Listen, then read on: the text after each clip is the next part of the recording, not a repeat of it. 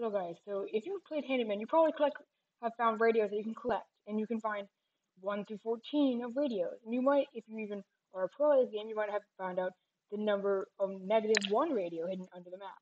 But have you ever, but there's one radio that I, I looked all over the internet or the wiki, and it has, there's nothing about it. And yes, this is real, the negative 1 radio, let me put it down. Yes, this is actually a if you look it up, it won't appear. I don't know anybody who has it. And here's what it sounds like.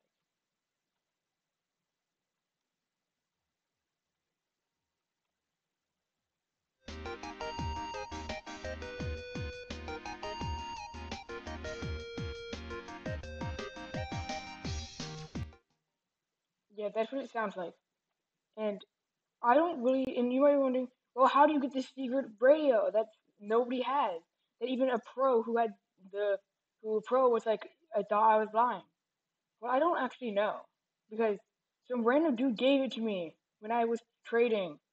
So I don't know how to get this radio, but I've never seen anybody with it.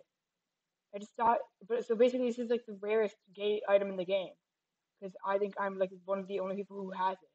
But yeah, that's what it looks like. If you want to look for it, you can. I don't think it's anywhere in the map.